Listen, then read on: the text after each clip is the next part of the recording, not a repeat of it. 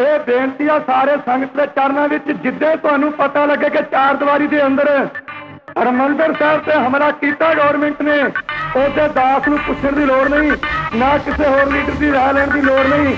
ਉਹਦੇ ਥਾਣਾ ਥਾਣਾ ਤੇ, ਪਿੰਡਾਂ ਤੇ, ਸ਼ਹਿਰਾਂ ਵਿੱਚ ਜੋ ਸਤਿਗੁਰੂ ਗ੍ਰੰਥ ਸਾਹਿਬ ਦਾ ਨਿੰਦਕ ਹੈ ਤੇ ਧੀਆਂ ਭੈਣਾਂ ਦੀ ਇੱਜ਼ਤ ਲੁੱਟਣ ਵਾਲਾ ਤੇ ਲੁੱਟੇ ਜਾਣ ਤੋਂ ਖੁਸ਼ ਹੋਣ ਵਾਲਾ ਹੈ। ਤੇ ਜਿਹੜਾ ਪਾਠ ਕਪਾਉਣ ਵਾਲਾ ਹੈ ਉਹਨਾਂ ਨੂੰ ਥਾਵਾਂ ਥਾਵਾਂ ਤੇ ਜ਼ੋਰ ਦੇ ਚਾਹ ਤਸਕਾਰੇ ਪੱਕੀ ਬੇਨਤੀ ਹੈ ਤੁਹਾਡਿਆਂ ਚਰਨਾਂ 'ਚ। 4 ਜੂਨ ਦੀ ਸਵੇਰ ਚੜੇ ਫੌਜਾਂ ਦੇ ਹਨੇਰਾ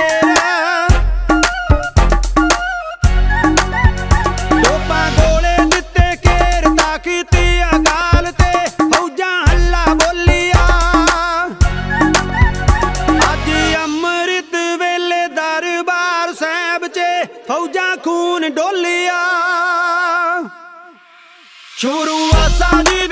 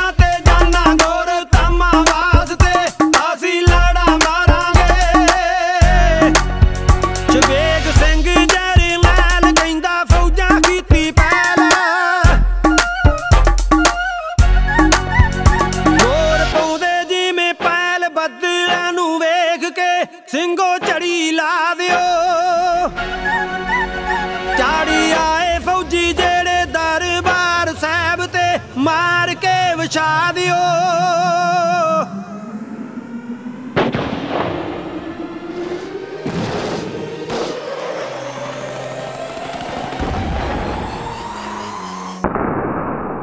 अमरीक सिंह ललकारे सिंह